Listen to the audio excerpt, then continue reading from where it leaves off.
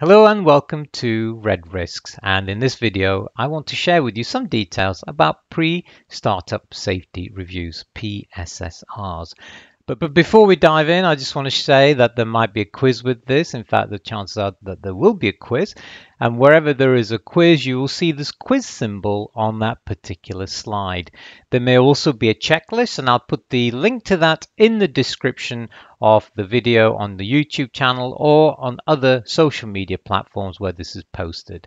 And also, there is a free app Safer Working. If you can download the app, I regularly post things on there and I can update you through the app. Pre-startup safety review content on this slide is taken out of the CCPS guidelines for performing effective pre-startup safety reviews. So if you're familiar with that book and the content associated with the CCPS guidance, there's nothing new in here, but it might be worthwhile as a refresher as well. So let's start off first with what is a PSSR.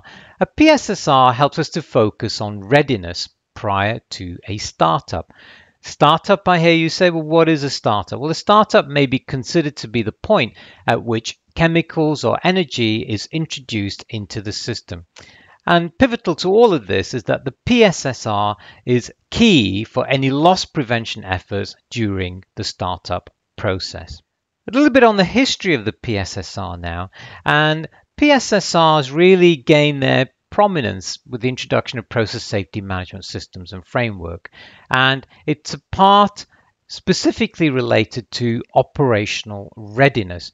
And in operations readiness, we're really looking at addressing startups from all types of shutdown conditions. And it could be turnaround, modifications, preventative maintenance, and so on.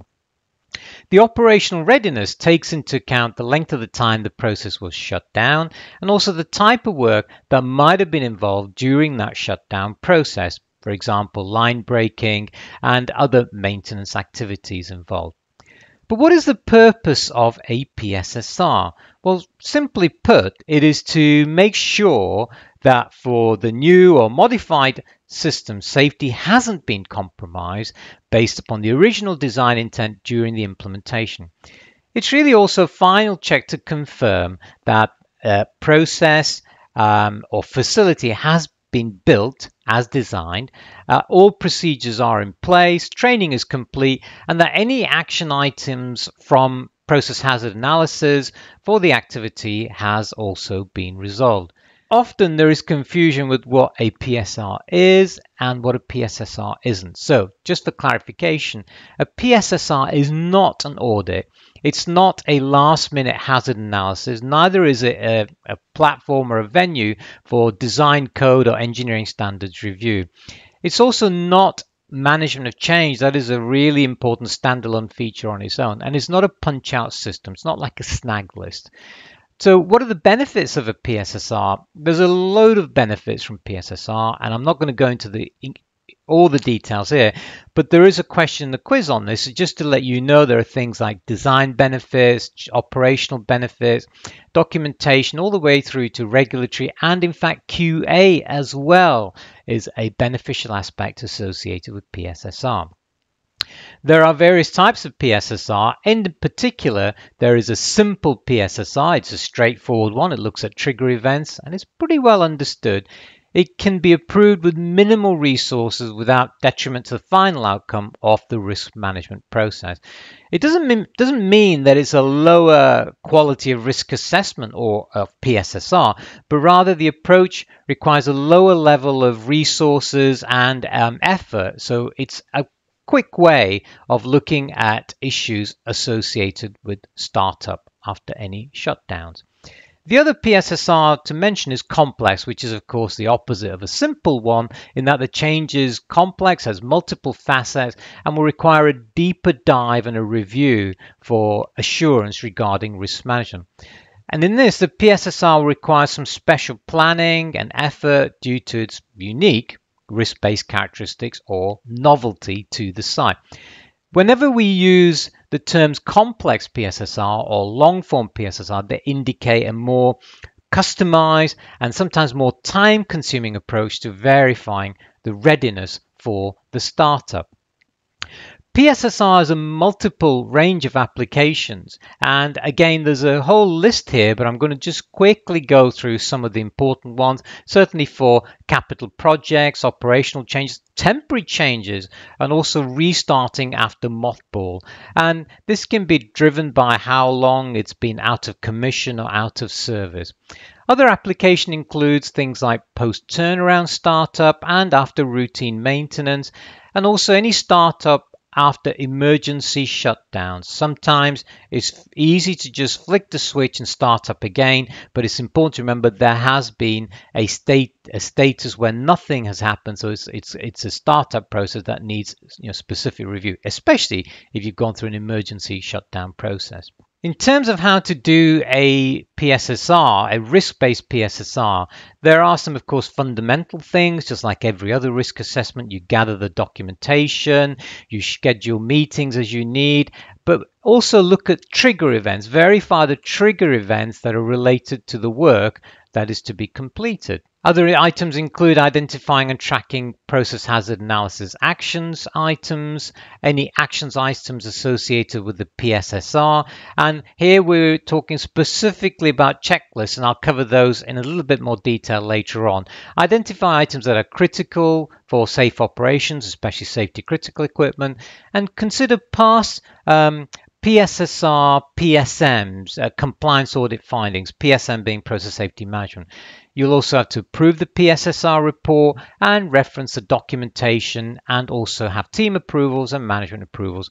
Quite a lot to go through there, but I really just want to sort of share some of the things required for setting up. With, of course, every PSSR, it requires team effort. So a team will have roles and responsibilities. You need to make sure you have a full team to, to do a thorough PSSR process, as with any other risk management approach.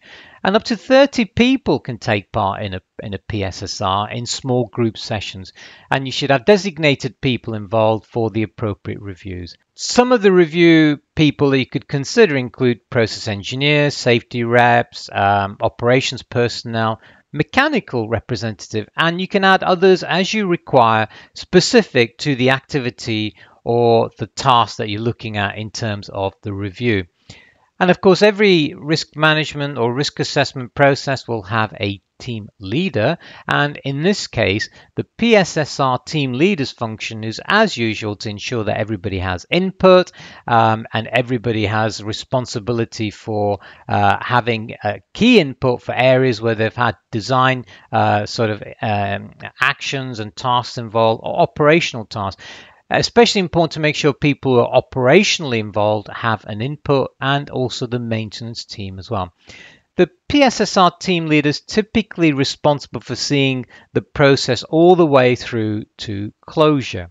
Having done your PSSR, of course, as Peter Drucker used to say, what gets measured gets managed. So we need to look at how we can look at key performance indicators for PSSR. And there is a ton of PSSR uh, KPIs, and I'm going to share with you some of them in the next slide.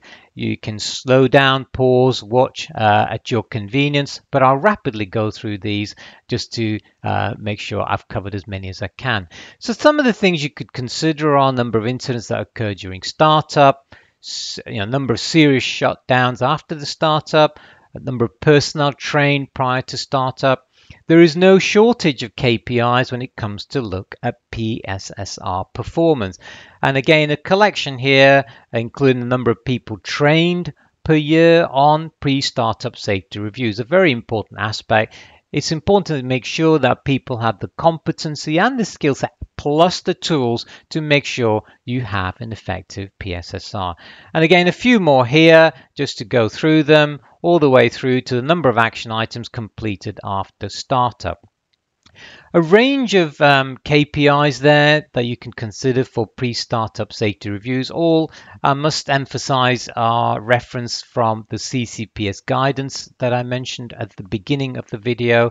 Please check it out and pick the ones that are the most effective for you and your organization. Don't go for paralysis by analysis. Just pick the ones that are very relevant for you and ones that could make sure that your PSSR is performing effectively. But what are the steps involved in the PSSR? And I'm going to talk to you just about eight, well, seven steps that are key for uh, PSSR uh, set getting it executed. All the way from training the workforce, looking at trigger events. Step three is the type of PSSR that you want to do. Remember, we mentioned simple and complex. Don't um, boil the ocean looking at complex when a simple PSSR would do. You need to build the team for doing the PSSR. You conduct it, you do the documentation, and then you track for closure any action items. Another key important part is to make sure that the actions are assigned to the relevant people with appropriate closure dates and hopefully before you actually start up the process.